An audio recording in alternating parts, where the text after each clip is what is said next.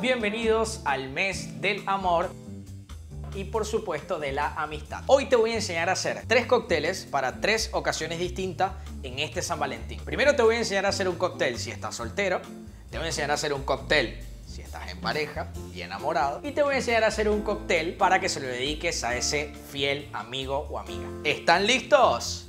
Let's go. Cóctel número uno, amor de verano. Como su nombre lo dice, es especial para esos amores de verano. Este cóctel está caracterizado por ser sumamente tropical, bajo en alcohol y bastante concentrado en sabor. Lo primero que tenemos que hacer es colocar hielo rolo directo al vaso. La única base alcohólica que lleva este cóctel es licor de ron saborizado de coco Malibu. Vamos a añadir 2 onzas de nuestro ron de coco Malibu y para los que les gusta más fuerte, un poquitito más. Seguidamente necesitamos un mix de jugo de naranja y durazno. Mientras más natural, mejor. Le vamos a añadir 8 onzas de este mix de durazno y naranja. Es sumamente importante respetar la receta. Vamos a añadir un hielito más. Y por último, el toque dulce y de color, vamos a añadir granadina. Vamos a añadir una onza directo al vaso, así no ensuciamos el jigger medidor, y lo vamos a integrar con el resto de los ingredientes, ayudándonos con nuestra bar spoon, utilizando la técnica de escarbar.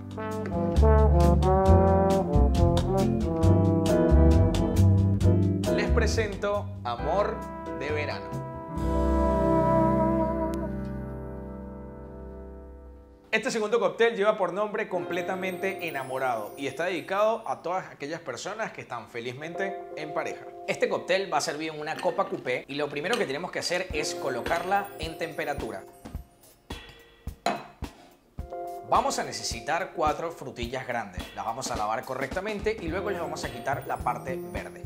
Las vamos a dividir a la mitad y las vamos a colocar en nuestro vaso corto. Seguidamente le vamos a añadir una onza exacta de almíbar de granada o también llamada granadina.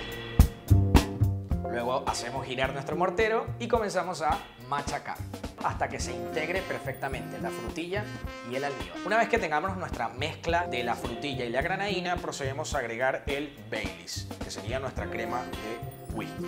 Vamos a añadir exactamente 4 onzas. Seguidamente vamos a añadir entonces cuatro piedritas de hielo, vamos a sellar la coctelera y comenzamos a batir con mucho fuego.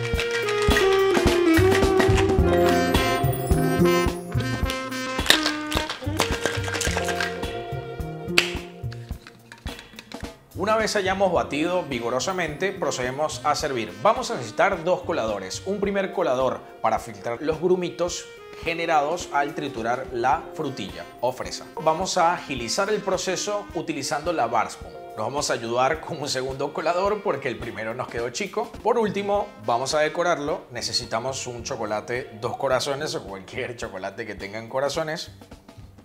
Y seguidamente vamos a colocar un exterior de pétalos de rosa o también pueden ser flores para darle un poco más de ambiente romántico. Les presento el cóctel completamente enamorado, exactamente como estoy yo. Te lo dedico a ti, amor mío, Melina, te amo.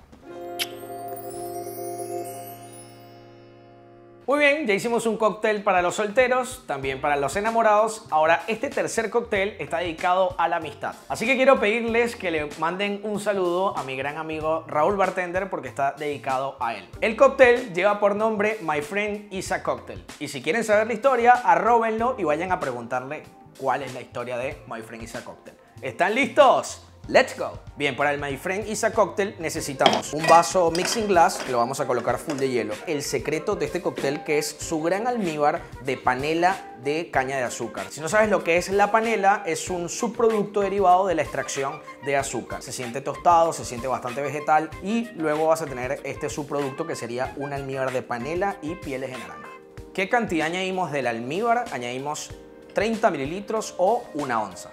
Estoy completamente seguro que este es el ron favorito de mi hermano y yo, así que vamos a añadirle una cantidad abundante de 4 onzas. Queremos que se sienta mucho la presencia del ron. Es sumamente importante colocar una copa coupé o cóctel a atemperarse. Seguidamente vamos a retirar el hielo de la copa y lo vamos a perfumar con absenta. La absenta, como ustedes saben, es uno de los licores más aromáticos y anisados. Seguidamente refrescamos la bebida hasta la cantidad que nosotros consideremos. Yo te digo que aproximadamente es unos 20 segundos es suficiente. Servimos con sutileza y delicadeza. Para decorarlo necesitamos una cereza al marrasquino. Seguidamente vamos a extraer dos pieles de naranja, garantízate que la piel tenga suficiente porosidad para lograr extraer los aceites. Primero vamos a perfumar la primera piel y la segunda la vamos a perfumar con un ligero toque de piel ahumada. De esta manera vamos a extraer lo mejor de la piel de naranja. Porque ni la distancia ni el tiempo separen a los grandes amigos. Para ustedes, my friend, Isa Cocktail. ¿Para entendidos?